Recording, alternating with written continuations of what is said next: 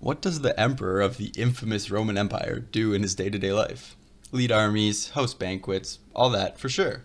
But also, he deals with court cases, even goofy court cases from random regionals. And frankly, if you can guess what happens in this one, I will personally come to your house to congratulate you. Hey, I'm Mr. Dino. Today we are going to be looking at a hilarious court case from Knidos in modern Turkey. Not only is this case funny as hell, but it was actually dealt with by the Emperor Augustus. Okay, so there was a guy named Eubulus and his wife Tryphera. They lived in Knidos. And two nights in a row, this guy named Philinus came to their house, he insulted them, and he threatened to break in.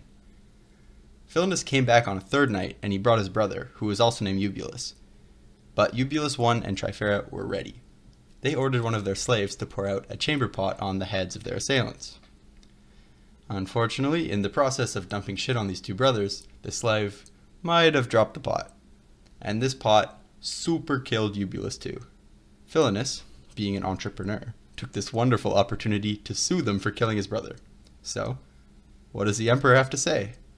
First, he said, Damn, kind of would have been better if it just fell on Philinus instead. Very smart. I agree.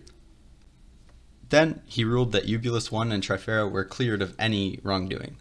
I mean, obviously, it was the idiot brother's fault for going to people's homes at night and just harassing them. Again, I would say that makes sense. Clearly, I too have what it takes to be emperor.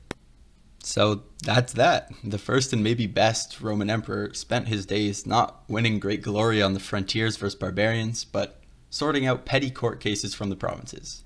And just know, if you're harassing people at night and you get killed by a toilet, you might just be at fault. That's all for me here at History with Dino. I hope you enjoyed the video. Leave a like and subscribe if you did, and maybe check out one of my other videos. See you again soon.